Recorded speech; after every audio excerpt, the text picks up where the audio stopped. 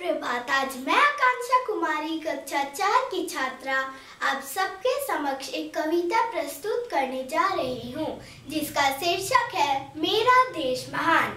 जिसकी सुहानी सुबह है, होती होती सुनहरी शाम है। वीर बहादुर जन्मे, जिसमें मेरा भारत महान है। भारत के माटी के पुतले, लोहे के माने जाते हैं। सुखदेव भगत सिंह, तिलक आज़ाद इस नाम से जाने जाते हैं मेरे देश की माटी ऐसी यहाँ जन्म लेते भगवान। मेरा भारत देश महान, मेरा भारत देश महान। नदियाँ जिसकी छम छम बहती हिमालय पर्वत है जिसका महान।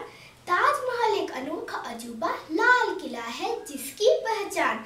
मिट्टी के कण में भरा है आपसी भाईचारे और मेहनत का पैगाम। मेरी आन, मेरी शान, मेरा प्यारा देश महान।